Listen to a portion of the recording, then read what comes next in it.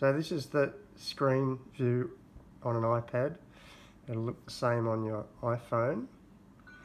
And the major trick with this is when you're reviewing the footage is that it records in chunks and there's a slider so that's a tiny chunk and here's a last night's ringtail and if I get to there it'll skip forward to the next chunk. And there's a brush tail.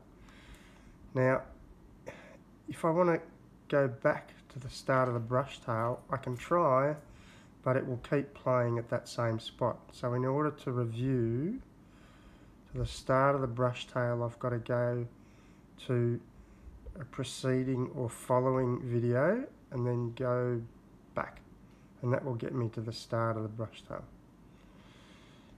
So I could go forward and it will skip forward to another ringtail and then I go back and that gets me to the start of the brush tail. So that's that's the only quirk. It might seem frustrating and I can also go halfway through halfway through the brush tail and it's left by that stage so that's the main thing. Enjoy